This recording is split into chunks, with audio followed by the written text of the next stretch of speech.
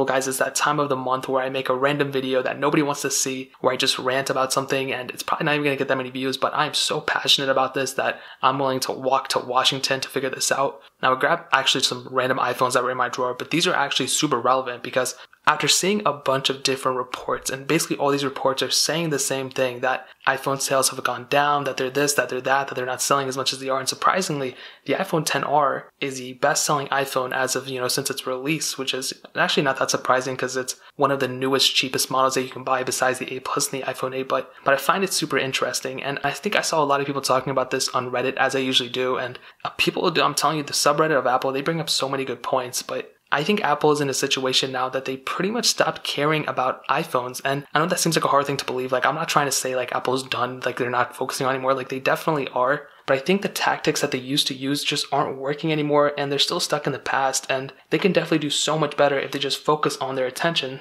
and start putting more emphasis on these devices. Now, I have the 10s and the 10R here. I have the 10s Max right there charging. And I find it even more weirder that this year's iPhones, the iPhone 11 or whatever it's going to call, this is a fake, this is not real but this year's iPhone, the main biggest hardware change potentially is going to be the camera, and there's going to be some cool little features with it too. But I think they're in a situation where they could do so much better. You know, they're kind of doing the same thing over and over and over again. And I would say probably ever since the iPhone 7 Plus, they've been really just doing the same thing, literally just literally copying over and over again. And they're adding more camera sensors to this. But in terms of everything else, the iPhone 11 will look exactly the same everywhere else Lightning port same size screen as the 10s and 10s Max, but I just feel like they could do so much better. And what I mean by that is, if you look at phones like the Samsung Galaxy S10 Plus or the Samsung Galaxy S10, Samsung and other phone manufacturers, they literally put everything they can into their devices whenever their phone is released. So, whatever the best technology they have at the time, most usually, most probably, they go ahead and update those devices to, you know, what's what they have in the market. You know, triple camera sensors,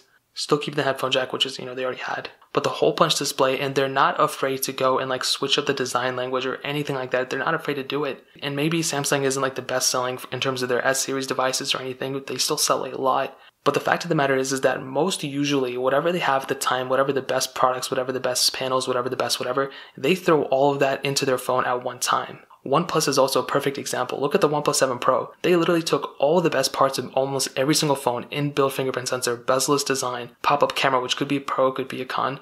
They did sacrifice some wireless charging and some other things too in IP certification, but they really did put as much as they could onto the device, you know, 90 hertz refresh rate screen. Like they put a ton of things into their phones and if you look at Apple, they're still stuck in their old ways. I would say ever since like the 7 Plus, but even since like the iPhone 6, that's where everything started.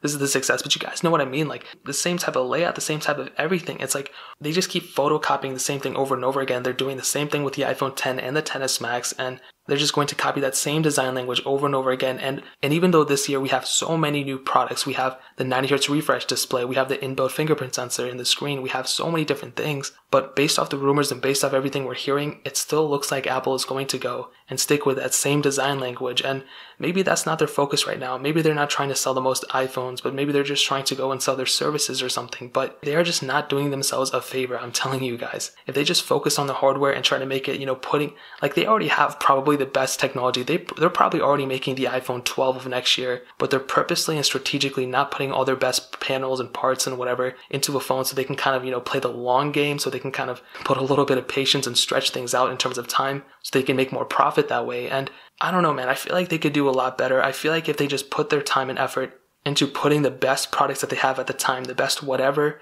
the best parts into their phones at the time that they have them, then that would be amazing. And I feel like more people would be inclined to not bash them as much and actually go and support them. The iPhone 10R, in my opinion, was a pretty good step, I think, even though I kind of bashed it a lot. I think this was a pretty good step. It's their best selling iPhone right now, so they obviously did something right. But with their main flagships, like, they didn't really change that much. And with iPhone 11 coming this year, it seems like it's the same thing. They're honestly just like sabotaging themselves by purposely postponing these products and everything. So what I'm saying is Apple is purposely like not caring, not supporting, and not sourcing their best products and parts for these phones at the time of their release. They're purposely kind of like stretching things out so they can make more profit so phones don't get too advanced too fast and people won't update. Even though the technology exists, they're not going to remove the notch anytime soon. We're already seeing reports that in 2020, the notch is supposed to get smaller, but it's still going to be there. I think by 2021, it's going to be gone, but I don't know, man. I feel like they could do so much better, but that's my ranting for today. Hopefully, you guys understand what I'm saying. If you guys don't, I'll try my best to kind of, I guess, explain in the description below or something, but that's just kind of what I've been thinking. I've been doing a lot of comparisons, a lot of reviews and stuff, and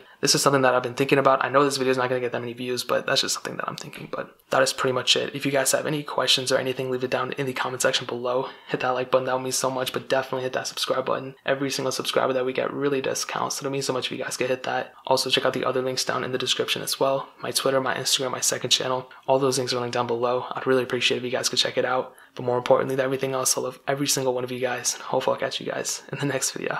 Peace out.